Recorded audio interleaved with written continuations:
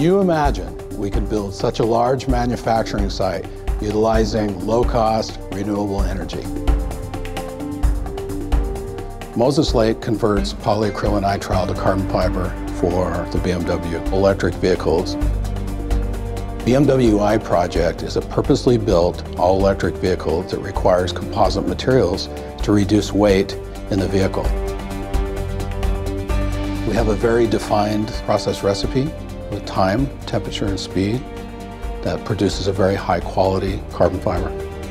The Moses Lake facility utilizes a high level of energy for the processes, mainly the ovens, much more than the other plants in the supply chain.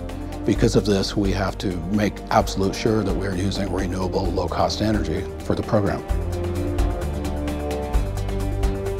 And based on this, we had to select a site and an area that could provide a low-cost, energy-efficient, sustainable power supply. This is a fantastic place. Three years ago, a site selection committee searched the globe for the location of our new site. We chose Moses Lake for various reasons, the exceptional workforce, land availability, and of course the main reason, the hydropower.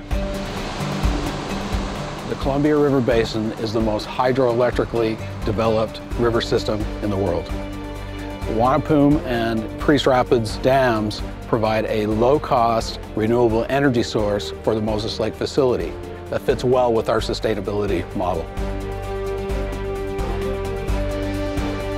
My team here reaches for the stars. They see that we can go well beyond any of the others in the industry, and we're marching down that road today.